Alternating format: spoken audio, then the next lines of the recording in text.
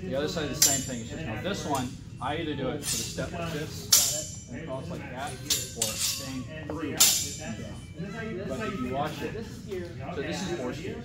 Roll with it. This is pop Yeah. and out, and I pop and come back in. Failure is on the trash. You parry to this position, cut, parry. Now for your cutting mechanics, you're not. It's just a, a constant Ignore, I love Josh, but the way that Josh and Anthony cut, like this, I don't do that. I know you don't, but instead it is just Just your like a saber. Like a correct cut. Yeah. the game is Do the same shifting. thing.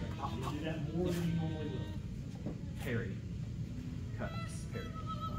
Literally just stupid. It's the same engagement over and over again. But that is, it is supposed to be these. This is the equivalent of if you're if you're like striking or boxing, it's this or this. And you're you're So rolling and tight. slipping essentially, yeah. But you're still having to defend yourself. You have something to defend yourself I'll try. See what I can do.